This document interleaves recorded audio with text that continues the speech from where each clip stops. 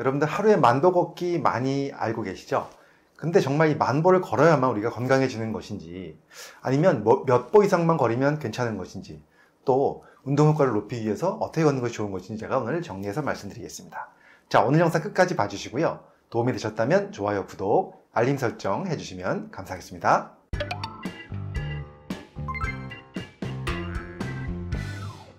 안녕하세요. 교육을 전공한 교육하는 의사, 가정의학과 전문의 이동환입니다. 자, 하루에 만보 걷기에 대한 이야기를 많이 했죠, 우리가. 여기에 대해서 왜 이런 얘기가 나왔는지 좀 역사를 좀 말씀을 드리면 1960년대 일본에서 이 만보기가 처음 만들어지면서 일종의 마케팅의 일환으로 하루 만보 걷기라는 이야기가 나왔습니다. 하지만 전문가들의 의견에 따르면요. 이 걷기 운동이 뭐 건강 유지라든가 또 장수를 위해서 아주 좋긴 하지만 꼭 반드시 하루에 만보를 걸어야 한다는 과학적 근거는 없다라는 거죠. 그렇다면 몇 보 정도를 걸으면 그래도 도움이 될까요?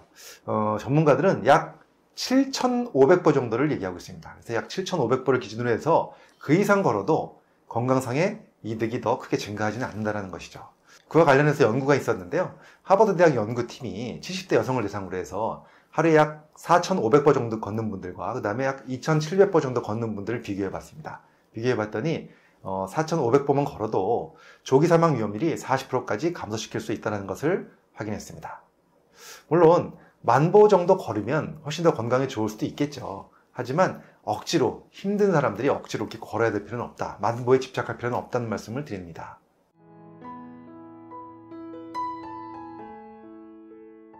자 그렇다면 이 걷기 운동을 효과를 최대 보기 위해서는 어떻게 걸어야 되는 것인가 이제 몇 가지 원칙을 좀 말씀을 드릴 건데요. 첫 번째는 바로 걷기 속도입니다. 속도는 좀 느린 걸음보다는 빠른 걸음이 훨씬 더 효과가 좋다는 것이죠. 그래서 시속 약 5 내지 6km 정도 이상으로 걷는 것이 좋다 이렇게 말씀을 드리고 있고요. 영국 레스터 대학에서 연구한 결과를 보니까 40만 명 정도의 어, 사람들 대상으로 걷기를 분석해 봤더니 빠른 속도로 걷는 분들이 느린 속도로 걷는 분들보다 중년 이후에 생체 나이가 16세 정도 더 젊어졌다는 것을 확인했습니다. 굉장한 차이가 나죠. 그래서 빠른 걸음으로 걷는 것이 훨씬 더 효과적인 운동이다 이 말씀을 드립니다.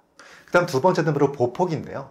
우리가 일반적으로 걷는 보폭보다는 걷기 운동을 할 때는 조금 더 보폭을 늘려서 약 10cm 정도 늘려가지고 넓은 보폭으로 걷는 것이 훨씬 더 효과적이라는 것입니다. 그렇게 걷게 되면 칼로리 소모가 많이 되고 그 다음에 근력이 더 많이 증가할 수 있다. 그렇기 때문에 보폭을 10cm 정도 늘려서 걷는 것 두 번째로 말씀을 드립니다. 그 다음 세 번째는 걷는 시간인데요. 우리가 보통 한 10분, 15분 걷다가 쉬고 이런 경우보다는요. 최소한 한번 걷기 시작하면 20분에서 30분 이상 걷는 것을 권장하고 있습니다. 그래야만 더 훨씬 걷기 운동의 효과를 누릴 수 있다. 이 말씀을 드립니다. 그 다음 네 번째는요. 이런 얘기 많이 들어보셨을 겁니다. 걷는 속도를 변화를 주면서 걸어라. 그러니까 어, 좀 빨리 걷다가 좀 천천히 걷다가 다시 또 빨리 걷다가 이런 식으로 일정한 속도를 걷는 것보다는 좀 변화를 주면서 걷는 것이 훨씬 더 효과적으로 칼로리 소모를 할 수 있다 이런 얘기가 있습니다. 자 오늘은 제가 걷기 운동에 대한 말씀을 드렸는데요. 여러분들 걷기 운동 정말 좋죠? 열심히 어, 걸으시면서 더 건강하고 행복한 생활 되셨으면 좋겠습니다. 감사합니다